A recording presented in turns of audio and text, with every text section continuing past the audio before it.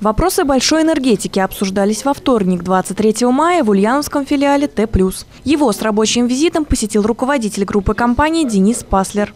Помимо осмотра территорий, гость провел рабочую встречу с главой региона Сергеем Морозовым, где ознакомился с итогами прошедшего отопительного сезона и планами на следующий. Объем инвестиций в этом году превысит объемы прошлого года. Э, более того, он даже превысит, соответственно, объемы тарифных решений, которые предусмотрены для компании, для того, чтобы, конечно, те узкие места и э, моменты, которые стоит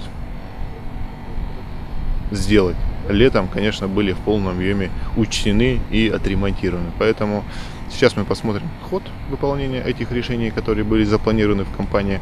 Ну и, конечно же, ключевая задача как была, так и осталась.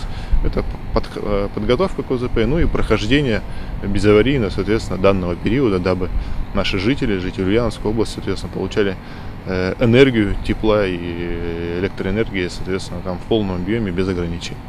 На подготовку объектов Ульяновского филиала в этом году будет направлено более 650 миллионов рублей. В эту сумму входит ремонт оборудования тепловых сетей, техническое перевооружение. Дополнительные 100 миллионов рублей потратить на подготовку к отопительному сезону. Это будут э, дополнительные объемы по тепловой изоляции. Вот это десятки миллионов рублей.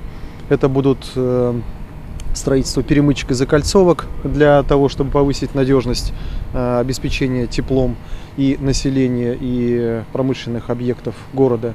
Вот. Ну и также ряд более э, мелких мероприятий. В состав ульяновского филиала Т+, входят ТЭЦ-1 и ТЭЦ-2, а также территориальное управление по теплоснабжению и котельный цех. Вместе они обеспечивают теплом около двух тысяч домов. Дарья Сударева, Юрий Конихин, Новости Ульяновской правды.